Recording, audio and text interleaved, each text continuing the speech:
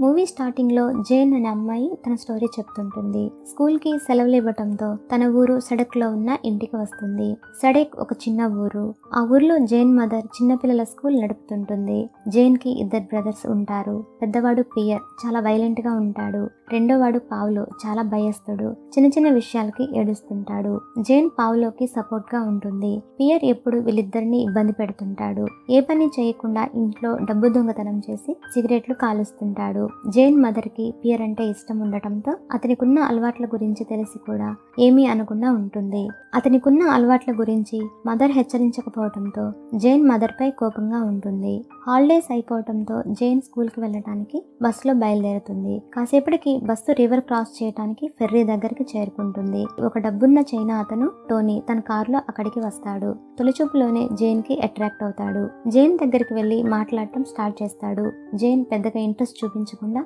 లైట్గా మాట్లాడి వదిలేస్తుంది. టోనీ తన చదువు కంప్లీట్ చేసుకుని ఇంటికి వెళ్తుంటాడు. తన హౌస్ వైపే జైన్ చదువుకునే స్కూల్ ఉండటంతో ఆమెని స్కూల్ వరకు కారులో వదిలిపెడతాను అని చెప్తాడు. జైన్ కూడా అతనితో కార్లో వెళ్ళటానికి రెడీ అవుతుంది. కార్లో ఇద్దరు మాట్లాడుకోవటం స్టార్ట్ చేస్తారు. జైన్ తన వయసు పదిహేడేళ్ళు అని అబద్ధం చెప్తుంది. తన వయసు ముప్పై రెండేళ్ళు అని చెప్పి తన ఫ్యామిలీ గురించి బిజినెస్ గురించి చెప్తూ జైన్కి క్లోజ్ అవ్వడానికి ట్రై చేస్తుంటాడు. టోనీ అలా చేస్తున్న జేన్ అతన్ని రిజెక్ట్ చేయదు. తరువాత జేన్ ఉండే హాస్టల్ వచ్చేస్తుంది. తను అక్కడ దిగిపోతుంది. హాస్టల్లో మీల్స్ చేస్తున్నప్పుడు టోనీ గురించి జేన్ తన ఫ్రెండ్కి చెప్తుంది. తర్వాత రోజు జేన్ హాస్టల్ నుండి స్కూల్కి వెళ్తుంటుంది. స్కూల్ దగ్గర టోనీ కారు ఉండటం గమనిస్తుంది. టోనీ జేన్ని ప్రేమిస్తుంటాడు. ఆమెను చూడటానికి వస్తాడు. జేన్ కార్ దగ్గరికి వెళ్తుంది. అద్దాన్ని కిస్ చేసి స్కూల్కి వెళ్ళిపోతుంది. స్కూల్ అయిపోయాక జేన్ బయటకొచ్చి టోనీ కోసం వెతుకుతుంది. అతను అక్కడ లేకపోవడంతో హాస్టల్కి వెళ్ళిపోతుంది. తర్వాత రోజు హాలిడే అవ్వడంతో జైన్ తన ఫ్రెండ్తో హాస్టల్లో డాన్స్ చేస్తుంటుంది. హాస్టల్ దగ్గరికి టోనీ వచ్చాడని తెలుసుకుని అతని దగ్గరికి వెళ్తుంది. టోనీ జైన్ని కారులో ఎక్కించుకొని రూమ్కి తీసుకెళ్తాడు. ఇద్దరి మధ్య ఉన్న ఏజ్ గ్యాప్ వల్ల అతను చైనీస్ అవ్వటం వల్ల టోనీ తన ప్రేమని ఎక్స్ప్రెస్ చేయలేకపోతాడు. ఆమెను హాస్టల్ దగ్గర వదిలిపెట్టాలి అని అనుకుంటాడు. జైన్ మాత్రం అతనితో ఉండాలని డిసైడ్ అవుతుంది. టోనీ జైన్ డ్రెస్ తీసేస్తాడు. వాళ్ళిద్దరూ ఫస్ట్ టైం ఇంటిమేట్ అవుతారు. జైన్ తన ఫ్యామిలీ గురించి తన అంబిషన్ గురించి చెప్తూ నాకు రైటర్ అవ్వాలని ఉంది అని ఫైనాన్షియల్ ఇబ్బందుల వల్ల తన ఫ్యామిలీ ఎంత స్ట్రగుల్ అవుతుందో చెప్తుంది. టోనీ డ్రైవర్ ద్వారా జైన్ ఫ్యామిలీ గురించి ఆల్రెడీ తెలుసుకుంటాడు. జైన్ కేవలం మనీ కోసమే ఇక్కడికి వచ్చిందని అనుకుంటాడు. ఆ రోజంతా అతనితో ఉంటుంది. రాత్రికి టోనీ ఆమెని రెస్టారెంట్కి తీసుకెళ్తాడు. జైన్తో ఫ్యూచర్లో మన ఇద్దరికి మ్యారేజ్ జరగదు అని క్లియర్గా చెప్తాడు. జైన్ కూడా నాకు చైనీస్ నచ్చరు అని నవ్వుతూ చెప్తుంది.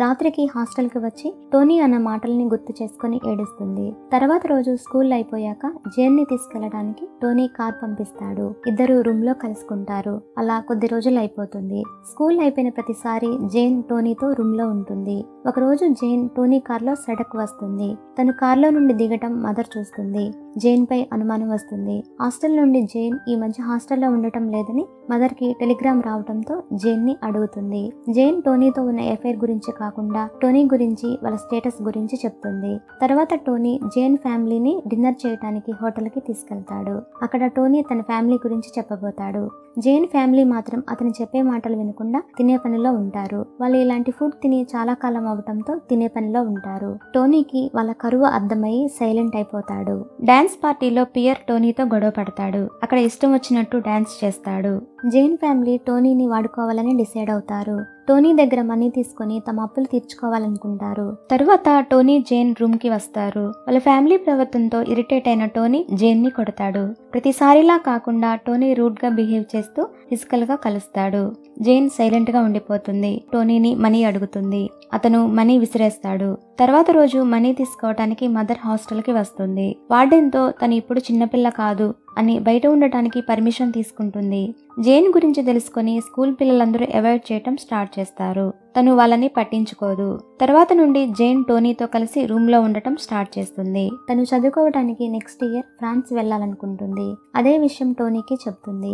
టోనీ గుర్తుగా తన మదర్ రింగ్ గిఫ్ట్గా ఇస్తాడు. ఆమెను వదిలి ఉండలేక ఫాదర్ దగ్గరికి వెళ్ళి జైన్ని పెళ్ళి చేసుకోవాలనుకుంటున్నట్టు చెప్తాడు. ఫాదర్ అందుకు ఒప్పుకోడు. ఫ్రెంచ్ అమ్మాయిని చేసుకునే బదులు నువ్వు చచ్చిపోయినా నాకు ఇష్టమే అని అంటాడు. అదే విషయం టోనీ జైన్కి చెప్పి ఒకవేళ ఇద్దరం పెళ్ళి చేసుకున్న ఆస్తిలో చిల్లిగవ్వ కూడా రాదని చెప్తాడు. జైన్ కూడా టోనీతో పెళ్ళి విషయం సీరియస్గా తీసుకోవద్దని చెప్తుంది. తరువాత ఇద్దరు రూమ్కి వెళ్తారు. టోనీ జైన్కి తను పెళ్ళి చేసుకోబోయే అమ్మాయి గురించి చెప్తాడు. జేన్ తనకి దూరం అవుతుండటంతో ఏడుస్తాడు. తర్వాత రోజు జేన్ తన ఇంటికి వస్తుంది. ఇంటికి రాగానే ఫ్యామిలీ దృష్టి టోనీ ఇచ్చిన రింగ్ పై పడుతుంది.